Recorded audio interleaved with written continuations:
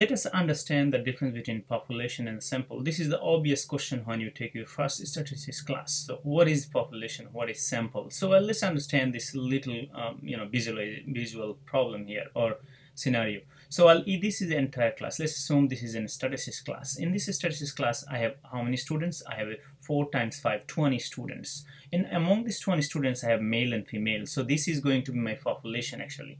That is going to be my population. Now, if I try to draw a sample, of course, out of this population, so the sample is going to come off with like that actually. So I'm going to actually uh, draw a sample with without any limitation. Uh, no age requirement, no uh, height, uh, no um, gender, nothing, obviously just randomly without any limitation. So I'm going to actually draw actually six of them. So let's draw the six of them. I took from here and separate them I have question later on. I can analyze their grade, I can analyze their height, I can analyze their age, and I want to see maybe how they do in the class. So that is a sample actually. So what is the sample is telling out of this class, okay? So well, this is basically my sample because it's drawn from here, the bigger one. Okay, so also the notation in statistics, in statistics, if you look into this one here, this is the entire population. So population size, we say population size is going to be n, which is a capital letter N is equal to 20. That is a 20 individual. Now if I go down here, and this is going to be small letter n, which is going to be 6.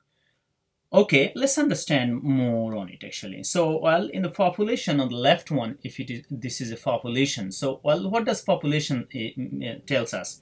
population tells us this is going to be whole, this is going to be total, and this is going to be entire group, this is going to be set, and this is going to be all element.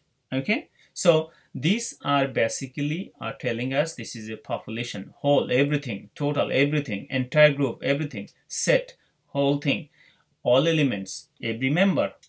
Third, well, it's not everything, it's part, and that's portion, that's a subgroup, there's a subset and there's few elements from all there's few elements from all so this is basically telling us this is going to be a sample and that's telling us this is going to be n population and population capital N is the sample size population size and sample size small letter n in this case is 6 Okay, let's look at an example. An institution has 750 first year students, 338 male and 412 female. A psychology professor chooses 75 students at random to complete the memory task and answer a specific question. So obviously the question is going to be what is the population, what is the sample. Okay, so I would like to actually analyze it here. So well, if I have this circle here,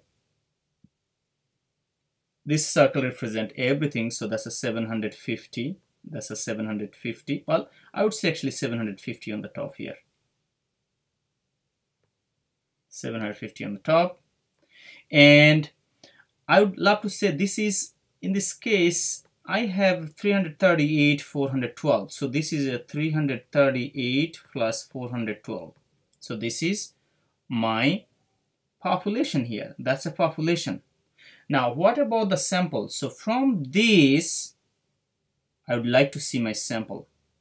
So sample is 75 students. 75. 75 students. So sample is just 75 students. So again, this one is the entire group.